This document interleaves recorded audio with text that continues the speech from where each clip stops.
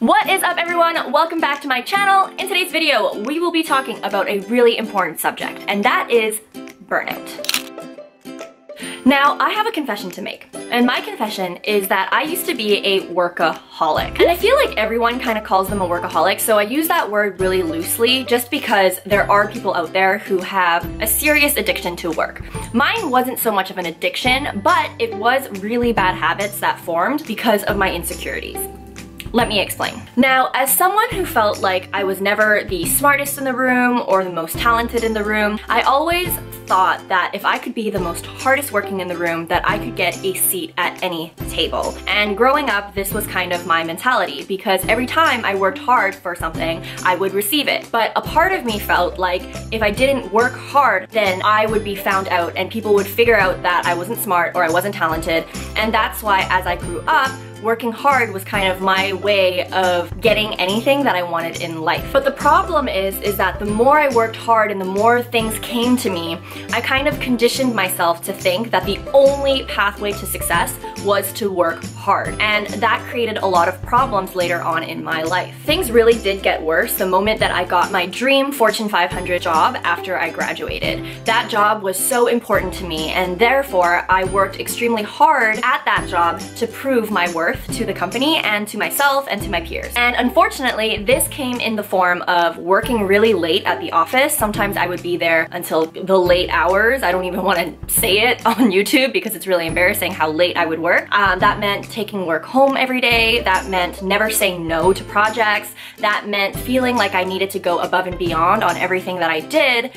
And this also meant working on weekends. And to be fair, I did work at a company that had that type of culture of not really having a lot of work-life balance, but I feel like with the actions that I was doing, it just made it a lot worse for me. But as I kept going, I realized that it actually wasn't a habit that was sustainable. And what ended up happening is that my health started to deteriorate. And because I care about every single person that watches my videos who are most likely millennials just like me who have maybe started off in the workforce or maybe a couple years in, I really want to share this story with you and also talk about this topic because it is something that is so important. And especially for millennials who are high potential, high performing, it's something that is very dangerous and it's something that needs to be talked about. So that's why in today's video, I'm gonna go over the major signs of burnout that I went through and also some tips and tricks to maybe avoid burnout in the future in order for you to not only be happier and healthier, but also create more space to have better job satisfaction. Now, for me, the first major sign that something was wrong was when I caught myself crying about work a lot and also feeling a strong sense of hopelessness. Now, this crying is very different from crying because of stress. I know when I first started my job, there was a huge learning curve and sometimes I would cry here and there because I was overwhelmed or I would feel really stressed out because I didn't know what the fuck I was doing. This crying is incredibly different. The crying that I'm talking about is when you are one or two years into your job and you come home one day and you just burst out in tears because you are so exhausted and you are so tired, so fatigued and feeling so lost and hopeless that you can't help but just burst into tears. That's when you have a very different problem in your hands and that is a good indicator that you are headed towards the road of burnout. The second sign that I had was when I would wake up in the middle of the night being so stressed or so anxious or so nervous because I thought that I might have forgotten something for work or that I didn't do something.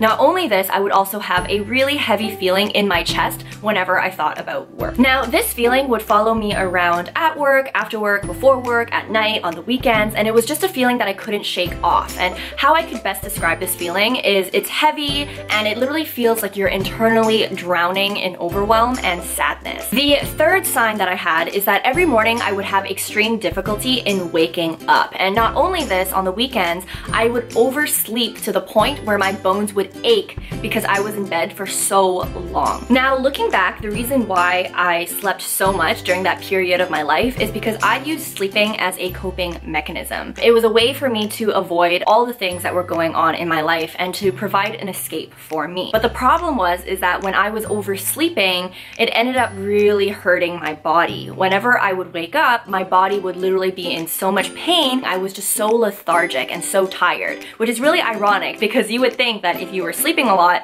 that you would be more energized when you wake up. But the issue is, is that when you oversleep, you actually get even more tired. And therefore that just drained me even more. And it was just a problem that snowballed into something bigger. Now, with that being said, if you are someone who is watching this video and one of the symptoms that I went through is something that you're going through, or maybe you're going through all of them, here are my recommendations on how to make your situation better. The first advice I have is to talk to your manager and learn to set boundaries. Now, coming from personal experience, I know it's really hard to admit that you don't have the capacity to do it all. But trust me, people actually respect you more when you are honest and when you are realistic about what you can actually deliver. This shows that you not only know how to prioritize, but it also shows that you know how to work efficiently and effectively. A mistake that I made is that I never really told my managers what I was going through. At this point in my life, I truly feel that if I was more transparent about what I was going through, I would have received 10 times more support in my work and it would have made my life a lot easier. Because let's be real, people don't know what you're going through unless you tell them. A lot of people probably didn't even know I was going through any of this stuff, but if I had only let them know, I would have received the support back. Especially if you are hiding the fact that you're struggling, then at the end of the day, no one can really help you because they don't know what's going on. Also, please, please, please don't take this advice as a sign of weakness. It really isn't. In the workforce, people actually admire people that aren't doormats, that can actually say no. Not only does doing this make you seem like a person that is strategic, that knows how to be effective, but it also shows that you know how to prioritize tasks that are actually going to contribute to the bottom line instead of working working on meaningless things that aren't gonna move the needle in the company. The second advice that I have is to simply disconnect. Now, the one thing that really helped me was when I started to leave my laptop at work. And I know that if you're that type of person that's really anxious to let go of that control, then what you can simply do is choose one day of the week, just one day where you consciously leave your laptop at work and you leave work at work so that you can go home and focus on yourself and have that reset day where you can actually unwind. Maybe it's every Friday where you have your no laptop day and you just leave your laptop at work so that you can enjoy your weekend without stressing so much about the computer. Or maybe if that's too much for you, you can choose Monday or Wednesday, just as long as you consciously choose one day of the week where you actively do not bring work at home so that you have that time for yourself. Another thing that you can actually disconnect from is inefficient meetings. I find that especially if you work at a big corporate company, that there are so many inefficient meetings that you are actually invited too. But sometimes you really need to ask yourself, do I really need to be there? For me, especially when I was starting out, I used to attend every single meeting that I was invited to. And if you are just starting out in your job, I highly recommend that you do that because you can learn from others and that's a great way to learn. But if you are one or two years into your job and you already know what needs to be done, there is a power in saying no to meetings that you really don't need to be at physically. Near the end of my corporate career, I learned to say no. And what I actually ended up doing is actually contacting the host of those meetings and asking them, what is my role in the meeting and what am I supposed to contribute in order to gauge if I really needed to be there. And if it turns out that I don't need to be there, then I'll just kindly ask for a recap because I have my own work that I need to prioritize and I need to make sure that that work is done to contribute to the bottom line of the company. Last but not least, the third and last advice that I have for you is to learn to do deep breathing exercises. Now, learning to do deep breathing exercises isn't something that I necessarily mastered during that time when I was working in corporate, but it is something that I've mastered now. Now, whenever I'm feeling overwhelmed or feeling like I'm on the verge of burning out again, I literally learn to close my eyes, take a deep breath in, and just tell myself that there are bigger problems in this